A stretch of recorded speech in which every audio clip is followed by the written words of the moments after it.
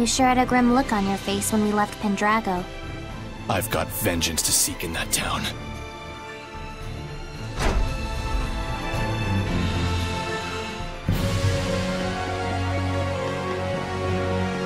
Looks like it's been ransacked. Of course it has. Think of the clientele that come here. It, it's the looting I'm mad about. Uh, yeah.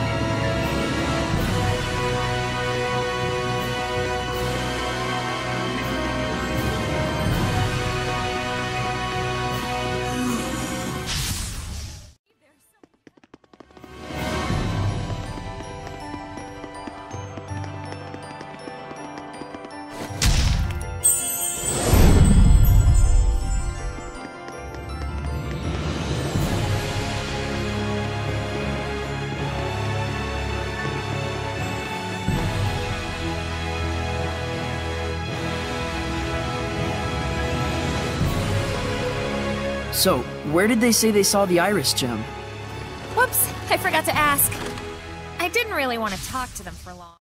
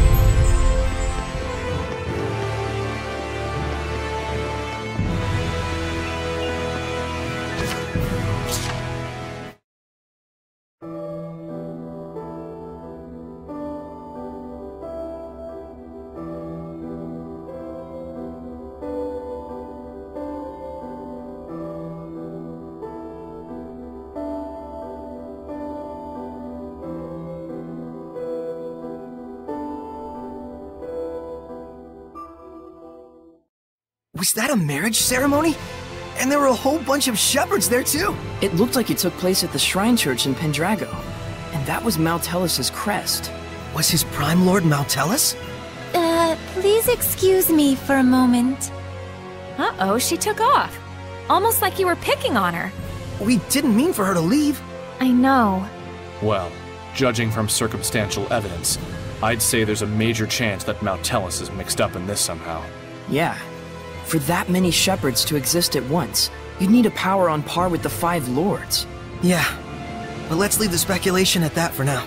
So long as we're gabbing about it, Lailah's stuck in there. Oops, sorry, I forgot. Well, we've met our first goal. Well, it would have been nice if we could have investigated before the place got ransacked. But it looks like it happened a long time ago. There's actually something I've noticed about that. Don't you think that the stones and decorations looted from here may have been used in Pendrago's architecture? It's possible, given the location and the era. Right. And if we can find out where they've been used, we might be able to find the hidden history of Pendrago. If we compare with Lady Lake, which utilized the Vivia subterranean aqueduct, we might find what people in that era were thinking. Sounds awesome! Good thinking, Mikleo. And that's not all. If we build upon our current hypothesis, Hang on. I don't get what's so awesome about this. But they're so enthused. Friggin' weirdos. Guess I'm the clown again. No, no, that was a smile of praise to the true king of the Ruin Geeks. Viva the Ruin Geek Shepherd. What kind of shepherd is that? I don't think I've ever heard of it. Then that makes Sorey the first. no objections? I guess.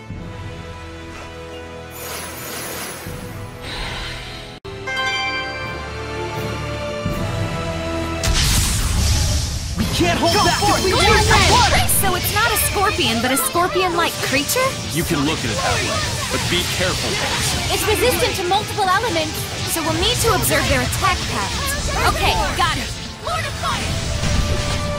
Cry out! Vermilion Crescent! Vermilion Crescent! Burning Shot! Cry out! Take this! Rising sand! Iron Current Screw! Toss! Vermilion Crescent! Pulse! You're pretty much screwed. Now it's Crimson Fire! Body Fight! Crimson Flame! May it burn your soul! Open! Incredible knife handling.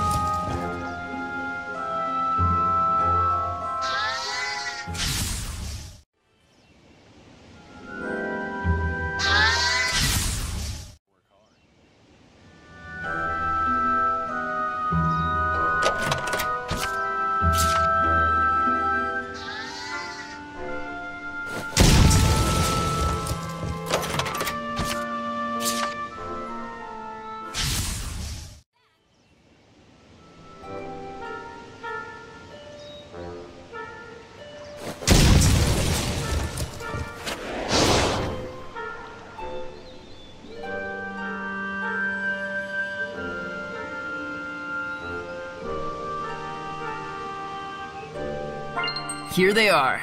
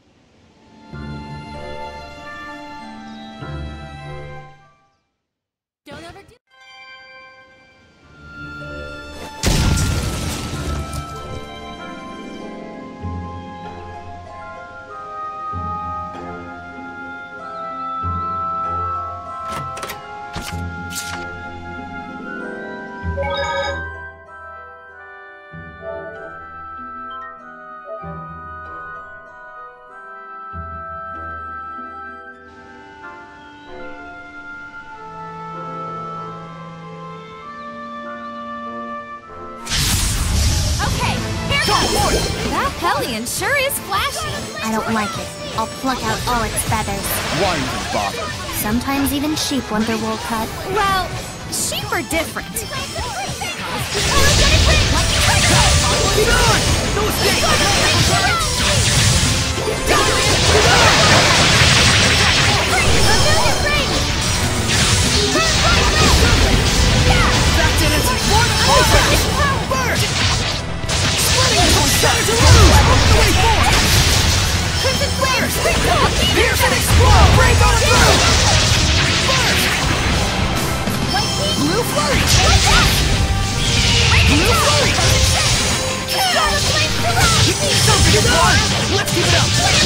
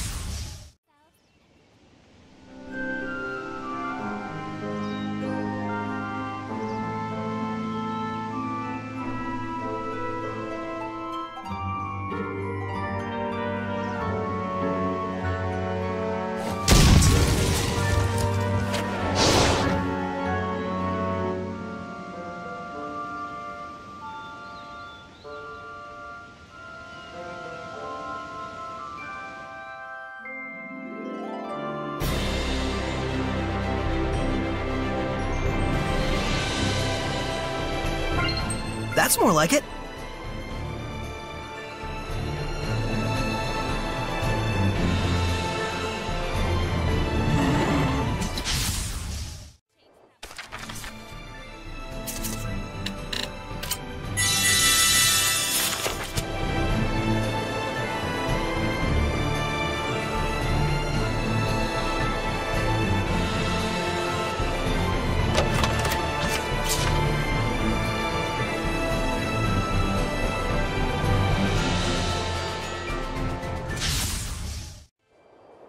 I just followed the recipe. Should be fine.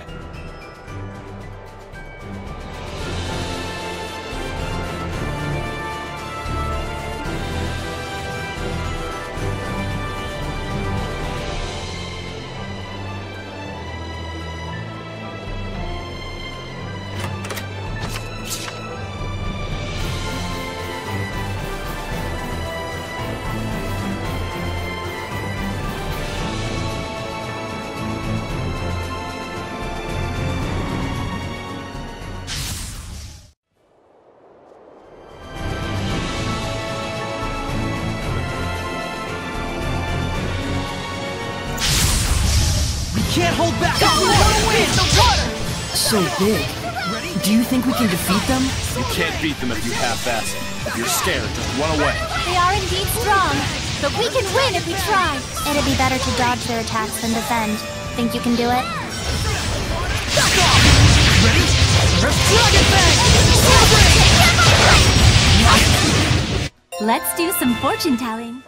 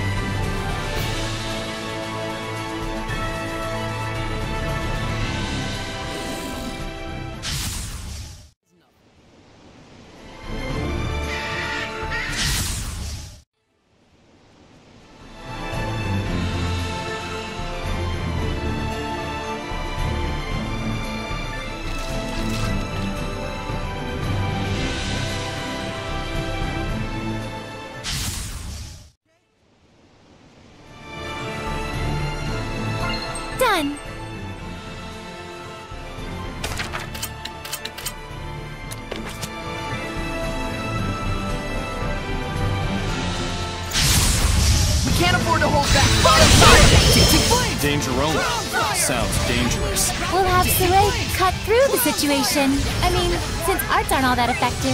So we can win this if we use sword-based physical attacks, right? Yep, that's why I said cut through.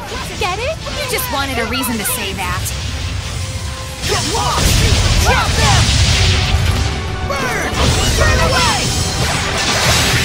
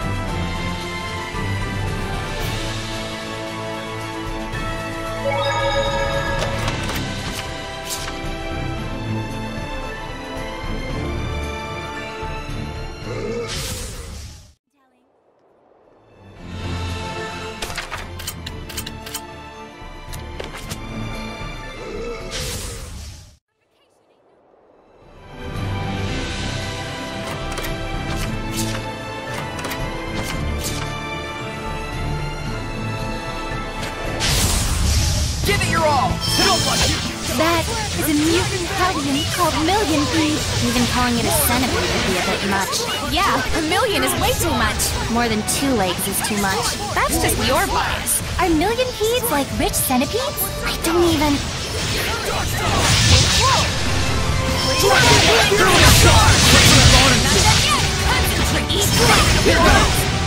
Come forward! Gale Shield double demon shot! Dragon Whip! Feline Whip! Strike! Dragon! Strike! Dragon Whip! Feline Star!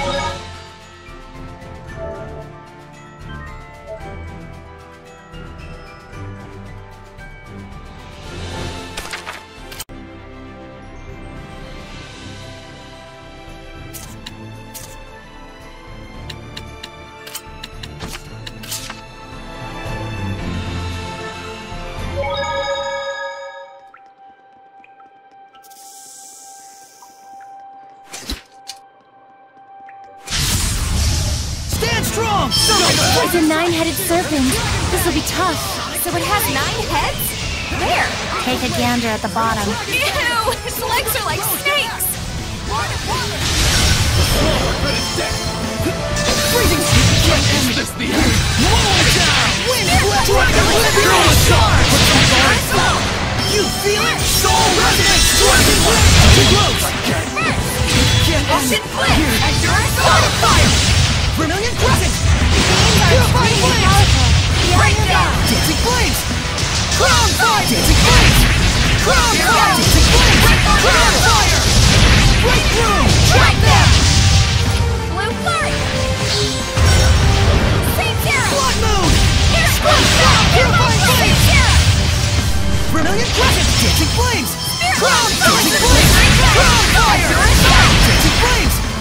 Crown fire! This is bad. Watch your health. Vermilion crescent! Dancing flames! Crown fire! Burn! Charge! Of flame! Lightning strike! Get lost! Down! Purifying flames! Vermilion crescent! Purifying flames! I need a hand! This is bad. Release my! Release my